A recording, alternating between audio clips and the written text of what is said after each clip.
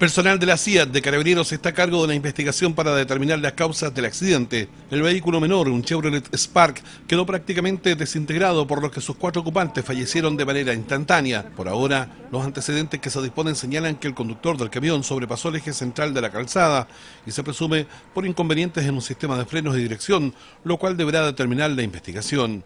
Bueno, el, eh, este accidente eh, se produce, bueno, aquí hay un camión ¿cierto? Que eh, viene desde Calbuco hacia dirección Puerto Montt em, y eh, traspasa el eje central aquí en esta curva, aquí en el sector de Huito, y colisiona de manera frontal con un vehículo de una estructura menor, en cuyo interior iban cuatro ocupantes, ¿cierto? Y, fallecen todas las cuatro personas. ¿Todos adultos? Todos adultos, y, y ya tenemos claridad respecto a las identidades, que era un tema que nos preocupaba también. Luego de impactar el automóvil, ambos vehículos quedaron a un costado del camino y a punto de caer al mar. Las víctimas eran trabajadores que se dirigían a sus hogares en la comuna de Calbuco luego de haber cumplido con su jornada laboral.